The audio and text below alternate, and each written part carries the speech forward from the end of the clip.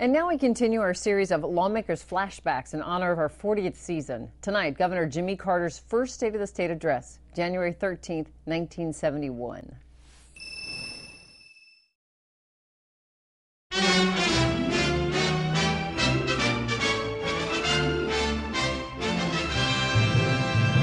The third legislative day of 1971 saw the Georgia Educational Television Network again producing special live coverage from the Capitol.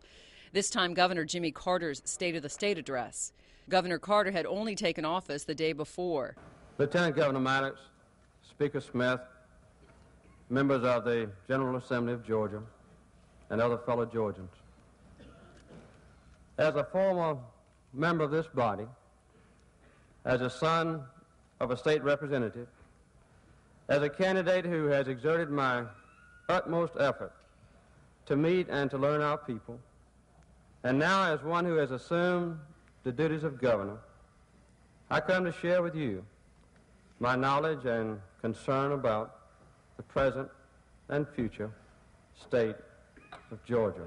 At that time, it was still common for Georgia governors to deliver a separate State of the Budget address, so Governor Carter had to return to the House chamber later in the week. This has been a lawmaker's flashback.